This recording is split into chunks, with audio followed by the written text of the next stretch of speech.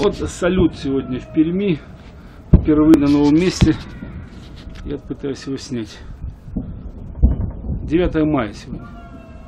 Ну, так себе.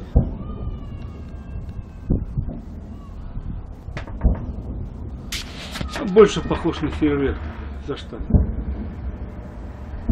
Не видно ничего.